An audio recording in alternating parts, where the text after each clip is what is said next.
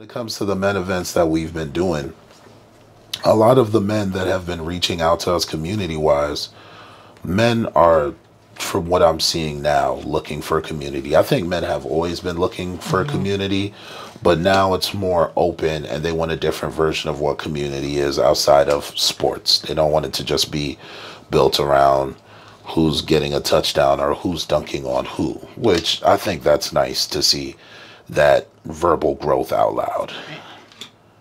Um, so with that being said, now when it comes to healing, I tell folks that healing doesn't just mean, oh, you you going hard. Okay, cool, that that works. I I do deserve that. I have won a lot of games. I can't complain out loud about that. But anywho, when it comes to um, focusing and healing and putting yourself together, it really comes down to, oh no, I'm, I'm not gonna play. I'm gonna play this. Yeah, that one works better. It comes down to once you heal, you change as a person, and when you change as a person, you've technically given birth to a newer version of yourself. Mental Health Monday. Mental Health Monday. Mental Health Monday. Yeah. Um, but he has some trauma there uh, with people transitioning, and he was like, "I need you to be in the hands of people who can help you." Um, and she actually she ended up getting stuck.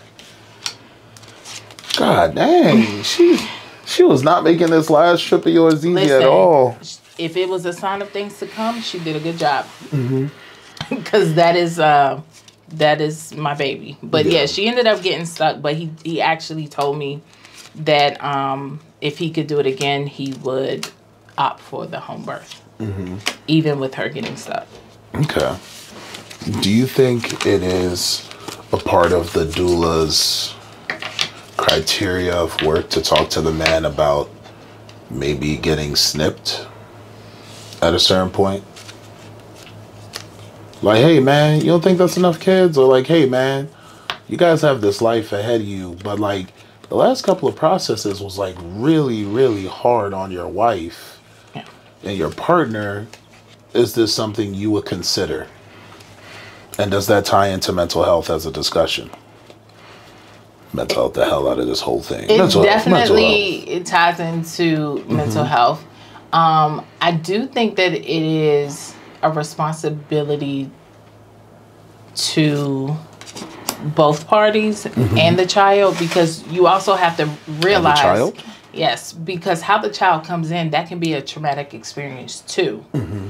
um, just coming through the birth canal itself is can be traumatic Yeah. and so what type of space are they entering in is it loud is it chaotic is it welcoming Mm-hmm. Yeah. and so when the mother has certain feelings towards being pregnant or damn i'm pregnant again Mm-hmm. and this is my absolute last one that plays a role in how the child gets here. So i think there is a responsibility to be able to have that conversation. Ultimately it's up to them um, but absolutely.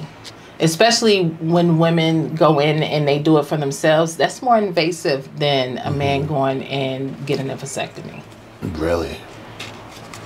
That's the actual like you going in they're going in and removing your tubes because they don't just tie them now and they don't just burn them now they remove the tubes That's a whole full surgery. So full recovery. That's that's not I can just walk in, quick snip, and walk out and go get me a donut. That's talking about weeks to months of Yes. healing.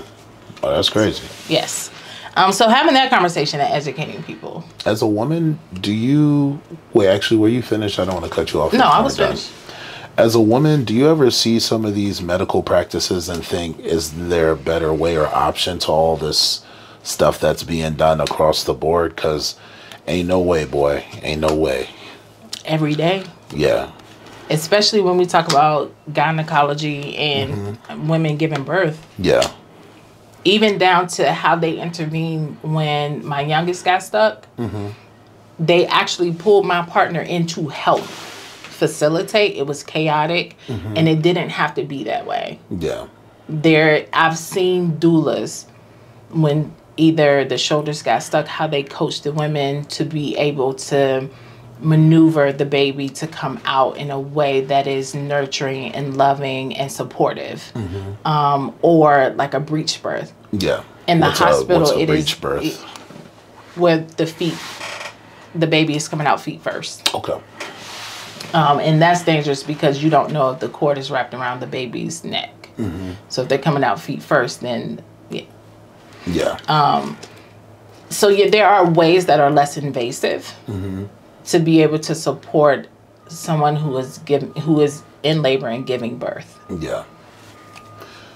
So, the term wipe a lot of ass, right? The reason that's hilarious to me is uh, with a lot of these uh, men events, it's your turn. With a lot of these men events that we've been doing, Great. uno, uno out. With a lot of these, oh dang, you you was loaded. You was, was about to let that thing sing. Thank thank you for not letting that thing sing. That that was a chopper. Mm, pow pow pow. Nobody's keeping score, right?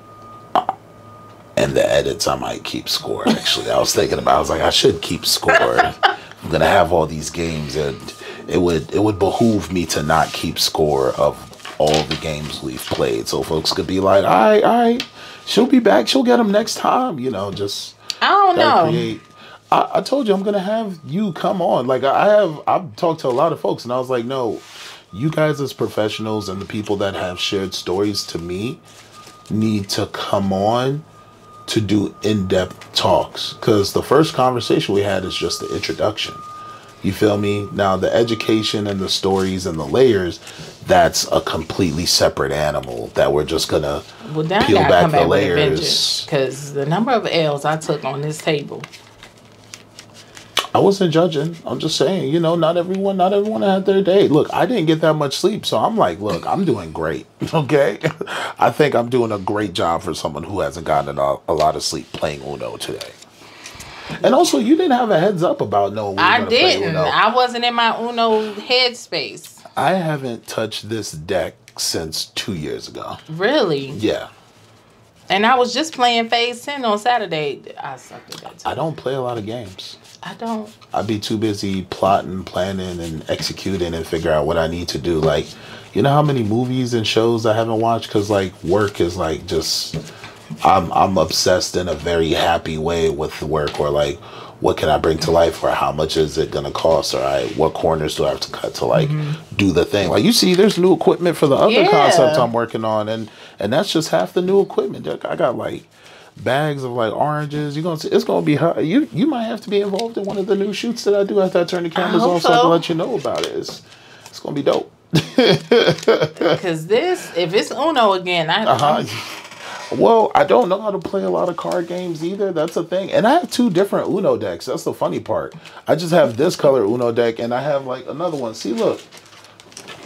Oh, I like that color. That's Yeah. retro. That's very retro. Yeah, yeah, I got I got two different Uno decks. I'm, I'd stay with the Uno, okay? All right, I, I don't know if I could say I'd be in my bag, but I stay with the Uno.